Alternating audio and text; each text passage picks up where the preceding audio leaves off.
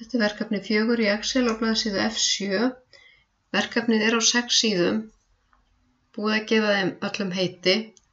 Ef ég ætla að móta þær allar í einu þá held ég niður í shift-lykli, smelli á síðustu og fer í page layout og page setup, fer hérna í margins, hér hef ég haka við center on page til að miðja all verkefnin á síðuna og hérna í header and footer Þar skrifaði ég áfanga, nafn og hóp og í custom footer þá setti ég filename sem er hér, insert filename og hér insert name.